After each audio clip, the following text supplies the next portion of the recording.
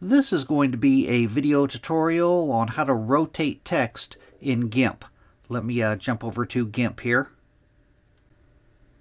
Okay, I have GIMP open now and I have some text on an image here. And to rotate text, first thing you want to do is you want to go off to the uh, right side here and you want to make sure that the text layer is selected. You want to make sure you got your text layer selected.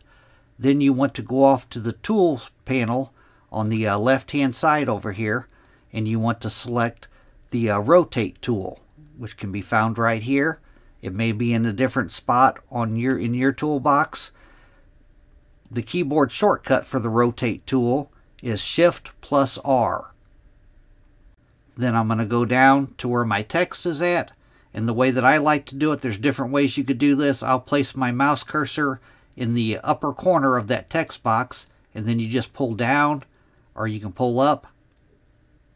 Adjust it how you would like. A text, uh, a dialog box will open in the right-hand side, and you can manually uh, adjust uh, your, the position of your text. But I like to just go to one of the corners, hold down the left mouse button, and just drag it how I want it. And that is how you rotate text using GIMP. Thanks for watching.